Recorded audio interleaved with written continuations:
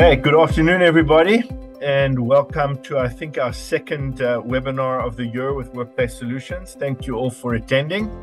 Um, today, we're going to be talking a little bit about uh, what the year ahead looks like with um, with Workplace Solutions, and um, we might be giving you back a little time. I don't think we're going to take more than uh, 25 or 30 minutes. If you've got any questions, please pop them in the chat or if there's a Q&A function, do that as well. Marnie is backstage and she'll be monitoring those. She might pop onto the screen as well to uh, help moderate those. So just the things we'll quickly go through today is the acquisition and the acquisition by Desjardins, the opportunities presented. We're going to look at some key initiatives that are have come about based on the acquisition, the expansion of our team. These are the, some of the initiatives we'll be discussing, the business models that we work with, um, a role that we're de- developing called customer experience navigation. We're going to talk about the, our plans for digitalization and automation. Then we have something a really cool product we're bringing out on an exclusive basis called Crisp, and then we'll have a little little chat at the end about how Workplace Solutions can help. If you are looking to either if you maybe are already in group with us and Workplace Solutions with us, thank you very much. But if you're looking to maybe expand your business or move into the group market or looking to do group a little bit differently or workplace solutions a little differently, um, of course, we're really interested to engage with you and hopefully you'll learn a bit today about how we work. So, as everybody is probably aware, Desjardins acquired uh, IDC Win all of Worldsource last year in March. Um, and they took a very serious interest in the workplace solutions division department and have um, agreed to invest in our future, which is terrific.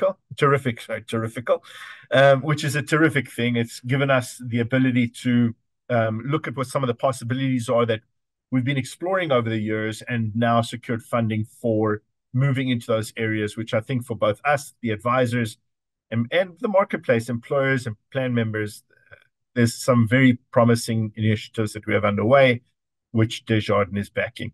Um, so our deliverable and offering is growing in very exciting ways. Um, so the key initiatives as a result of the investment um, that that that are germane, I think, here are that we've expanded our workplace solutions team, and I'm going to talk about that in a moment. Um, primarily in business development areas, the areas that will matter from what you can see vi- visibly and change our um, our footprint and our service offering one is the expansion of our business development team across the country, and the other one is some of the unique service and support roles that we've added into our team as well, which change the way we will be able to support what we've been doing uh, in the past. Uh, digitalization and automation, which is a very exciting piece of, where we're moving forward, is another key initiative of um, the that, we're managing to move move ahead based on the uh, support of Desjardins. So the expansion of the team so there are four new BDEs. Well, there'll be a fourth. Um, these, the three that are hired are now joining.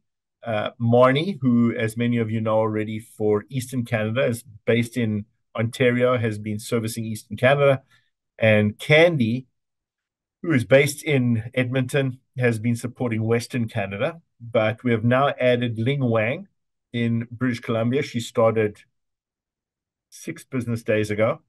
Uh, Susan Hofart, who started uh, roughly two months ago, and she's in the prairie. So she's based in Regina, supporting Manitoba and Saskatchewan. Uh, she's got a, a, long history as well in that marketplace, wholesaling uh, group life and health. So many of you may know her. And Jeff Farquhar has come over to us, also a lot of experience uh, wholesaling. Um, and he comes to us in Halifax. We'll be looking after the Atlantic provinces. So for those of you who already do business with us in these markets, just be aware you you now have boots on the ground in your area, so you could leverage our services in a more personal way if that's something you'd like to explore as well. And hopefully, this will give us more reach um, with some of the advisors that we support there as well. Quebec, we are looking to expand into Quebec, but it's a work in progress. We hope to solve that certainly in in the first half of this year, but certainly the year is, I think, a reasonable time frame in which to figure that out. So We've added a marketing and communications specialist. Lisa Friesen has moved over to us from the individual side of the business. Now, this has relevance, obviously, to our business in the marketing sense, where we can communicate with our advisors in a way, in a more in a more organized and concentrated way. But some of what Lisa will also be doing is managing communication flows and helping us develop certain deliverables to plan sponsors and plan members on behalf of advisors. This is obviously all managed, controlled, and um, kind of directed by advisors, but we have a protocol for that, and there's more to come on that. Group retirement services, inside sales and support consultant. We have someone looking after the role for now on a part-time basis, but Vanessa Menendez-Rivera, who will be back from mat leave, hopefully by end of August, early September, she will be back in and running group retirement services on a full-time basis. So it'll be the first time that we have a group retirement support person, Uh, full-time, uh, supporting our BDEs, who are also supporting advisors with GRS. That said, if anyone does have GRS opportunities at the moment, please do reach out. I'm working it. Teresa Devine is working on it as well, and so we do have support. It's just, I think the equation, the mechanics of it all will change substantially when Vanessa's back full-time. This next role is a very exciting one. The Customer Experience Navigator is Carl Blake. He's based in Kitchener-Waterloo. So Carl is in the process of working quite um, diligently, along with a couple of other people on the team, to build out a customer experience navigation pathway. This is not a customer service role. That we also offer, that's Pearl in our office here in Markham, based out of the Markham office. Um, she handles customer service things, questions, and and issues. Carl is working on a on a platform which will support, and we'll talk about this more in a minute, navigation of a client through two pathways during an annual cycle, policy cycle. Those would be both plan member engagement and plan sponsor engagement, and I'm gonna talk to talk to them in a moment. The next one is our 80/20, our back office support, that all of the transactions are being moved over to an inside sales support consultant. That's Teresa Devine. She's moving into that role full-time. So this just gives more capacity for the team to support you in a more rigorous uh, and direct, complete way. So as people may be aware, we have three different service models that you can work with us on, and you can pick these case by case. Uh, the first one is our back office support, where we do absolutely no client-facing work at all. You're the sole client-facing representative, and we do the back office work. We'll do the marketing report. We'll send out an RTQ for you to carriers. We'll curate. We'll then gather their proposals. We'll put those into a marketing proposal for you, brand it to you if you want, and then you, the advisor, go out, deliver that, make the sale, etc. We will then provide you with the documents and support the initial onboarding or the implementation of the client. Uh, then we'll provide a mid-year experience report, and we'll provide you with a renewal report. But we will not do any interventions. We're not supporting interventions with clients with regard to customer service, et cetera. That's really all the advisor's role. We also won't be providing any support around customer experience, navigation, et cetera. Those are specialized services that come at a, you know, in a in a in a in a different service model. So this is really a back-end model, where the advisor simply needs someone to run the quotes for them, do all that back-end work in the traditional group benefits market space. So one size, you know, typical defined benefit plan, experience-rated plans, those are the ones that want to come to us. They're getting a cost-effective mechanism of doing the back office work, but they want to handle the client-facing work all on their own. That's the right model.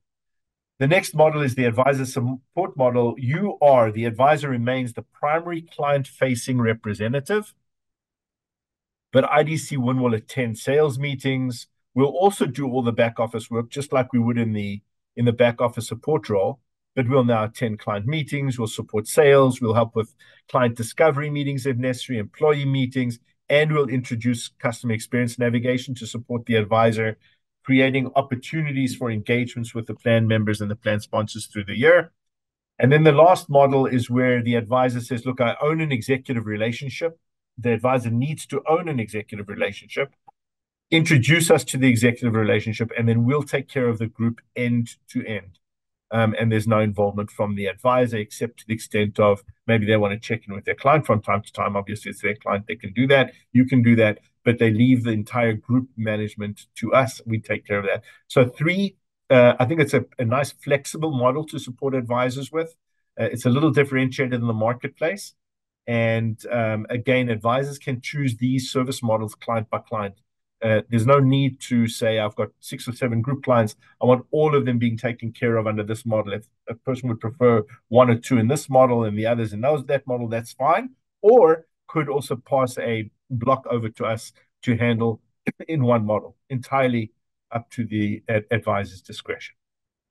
So to talk more about the customer experience navigation thing, we believe it's a, a strong differentiator in the market. I think there are very few advisors that actually engage their clients at this level. And it's hard to do. It's expensive. You need someone and you need a system in order to uh, onboard the client properly, offer them pro- an appropriate menu of uh, engagement touch points through a policy cycle. So um, we we intend to build that process. We do it to some degree already, uh, but we're building out a rigorous process for that as well the two pathways through a policy cycle or an arc would be plan sponsor engagement, and the second one is plan member engagement. So at the time a new plan is being onboarded with IDC Win throughout and with our advisors, the onboarding process is not simply an implementation of a group insurance contract, but there's an onboarding questionnaire and and and consult that happens to determine what it is that the client wants to uh, achieve for their plan members. Uh, and then there are events during the year that we can schedule, be they emails that go out or posters to be put up in lunchrooms or activities to be to be uh, managed. Maybe it's a steps competition or some kind of a wellness competition in the workplace. Uh, we can help with these webinars. We have a series of webinars, and we can also build tailor-built webinars for uh, plan sponsors if they want to engage. The whole idea is to ensure client success. So these employers today are putting these plans in place. They're putting more and more complex plans in place for their employees in order to meet a variety of needs in the workplace. And without that being properly navigated and supported in terms of communication uh, and education for the plan members, very often they will default to what they knew before and only expect from the plan what they knew before, make their vision care claim or their dental claim, etc., and not really fully appreciate some of the other health and wellness uh, initiatives that are available there. Uh, education is a big part of it, and then as well, our our deliverable expands beyond the payments and protection piece of group benefits into some of the wellness the wellness uh, offerings like mental health. So Inkblot is a is a preferred provider of ours on the mental health side. Could be virtual health or telemedicine. Uh, it might be a change for life type product out of Green Shield, which is a behavioral health incentive program that rewards people for keeping healthy and for tracking properly. People may be familiar with this type of thing through Vitality.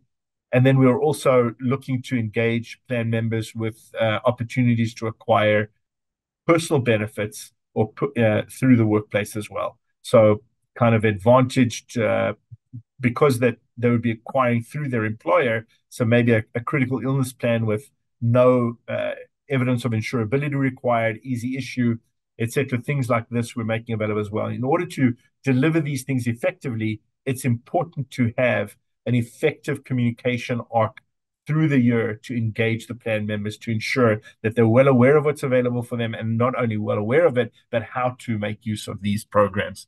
Um, the the plan and for the plan sponsor, we found that during the plan year, plan sponsors want to deal with a few things: claims experience and, and audit, they'd like to maybe do a plan governance review as well in terms of how many employees uh, are joining the plan, how many employees applied applied for coverage over NEMs, are things being done in uh, accordance with best practices with managing a benefit plan, and then they also want to prepare for their pricing and their renewals. So these can be done either in one, two, or three meetings, but the employer will decide uh, what the cadence of those meetings is that they want, and we'll set that up, that up in the custom experience navigation process. We'll then drive the advisors to the client if the advisor wants to be the one delivering, or we will take care of that for the at the advisor as well with the client.